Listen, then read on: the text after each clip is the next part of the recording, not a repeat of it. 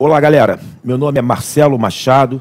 Eu sou defensor público aqui no estado do Rio de Janeiro, professor de processo penal. Tenho muito orgulho de integrar essa valorosa equipe do portal F3, equipe Delta. Nós somos os verdadeiros titãs. Vamos aí algumas dicas de processo penal. A nossa primeira dica é sobre prova. Vamos fazer uma classificação da prova. A prova ela pode ser direta ou indireta. A prova direta é aquela que incide sobre o próprio fato probando. Vamos imaginar que eu esteja em sala de aula com 30 alunos, saco de uma pistola, efetuo o disparo e mato um.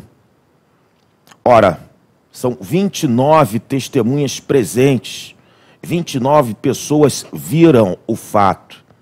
Neste caso, nós temos uma prova direta em relação à autoria e o próprio fato criminoso.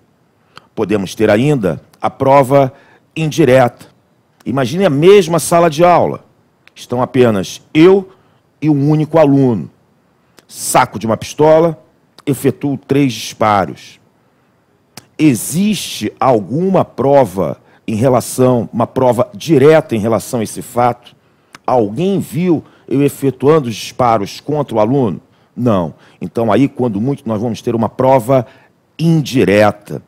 Mas, Marcelo, como é a prova indireta? Você parte de um fato conhecido e sabido, e através de um raciocínio lógico, você chega ao fato que pretende provar. Qual o fato conhecido e sabido? Estavam em sala de aula eu e um único aluno. Foram efetuados três disparos de arma de fogo que causaram a morte do aluno. Logo, quem efetuou os disparos? Marcelo. A prova indireta é a prova indiciária. Aí eu pergunto: o juiz pode proferir um decreto condenatório com base apenas em indícios? A prova indiciária é suficiente para uma condenação? Existe um mito muito grande no, no mundo jurídico. É comum, numa conversa de corredor, um advogado comentar com seu colega: Não, contra o meu cliente não tem absolutamente nada, ele deve ser absolvido. Há contra ele apenas indícios.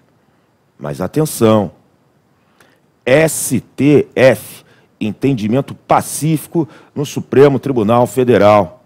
A prova indiciária autoriza, sim, um decreto condenatório. Em outras palavras, o juiz pode proferir sua sentença levando em consideração a prova indiciária. Até porque o indício é um meio de prova. Vá lá no artigo 239 do Código de Processo Penal. Então, entendimento tranquilo na Suprema Corte que a prova indiciária é suficiente para fundamentar um decreto condenatório, ok? Mas há também o indício negativo. Ora, Marcelo, o que é indício negativo? Vamos imaginar que eu tenha um desafeto e tenha ameaçado ele de morte. Ele foi morto. Quem é o principal suspeito? Sou eu. Sou desafeto da vítima, já tinha ameaçado ele de morte.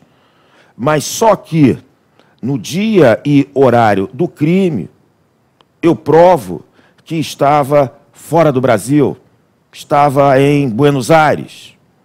Qual o fato conhecido e sabido? No dia tal, hora tal, Fulano foi assassinado.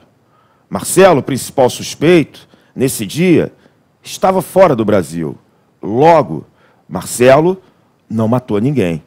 Esse é o indício negativo, o famoso e conhecido álibi. Ok? Olha só, tem mais dica, hein? Assina aí a folha dirigida, que são várias dicas, não só de processo penal, como também das demais matérias.